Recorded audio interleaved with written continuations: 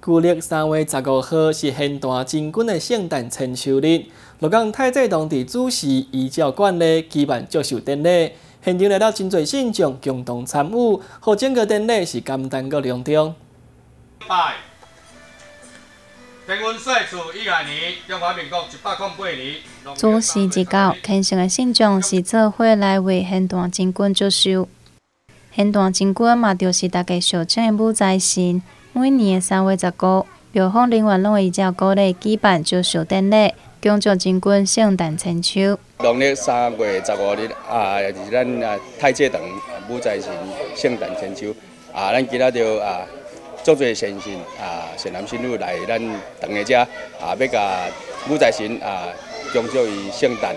啊，咱有准备安尼，就照鼓励安尼点心宴啊，红衣发粿啊，一寡水果来。要来庆祝伊的圣诞，啊，咱啊在善男信女啊，足是足诚心的啊，逐年拢来咱太济堂遮，啊，从咱信众安尼一年比一年搁较多。现场嘛来了真济地方人士甲民意代表，除了祝寿之外，嘛祈求现大真君保庇各位信众求财得财，求利得利。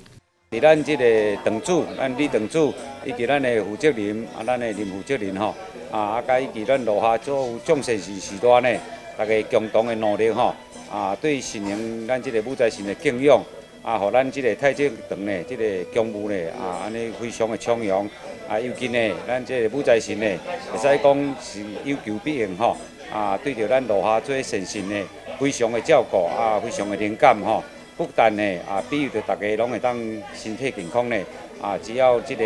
武财神吼，安尼即个素材的能力呢，嘛非常的好吼。啊，欢迎咱所有咱这城市时代啊，大家当共同安尼共享盛举。另外，标方嘛伫圣诞当天暗时准备平安宴，邀请有功人员做伙交流，嘛为了志工拼写辛苦。新中华新闻蔡中清鹿港采访报道。